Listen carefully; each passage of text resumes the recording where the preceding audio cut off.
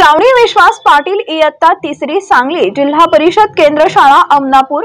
ही railway gate एकशे पंधरा जवळील वस्तीवरून रोज सुमारे तीन किलोमीटर चालत येते.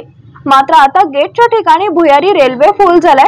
गेल्या तीन महिन्यात तिला या पुलाखालच्या पाण्यातून अशी वाट काढावी लागतीये.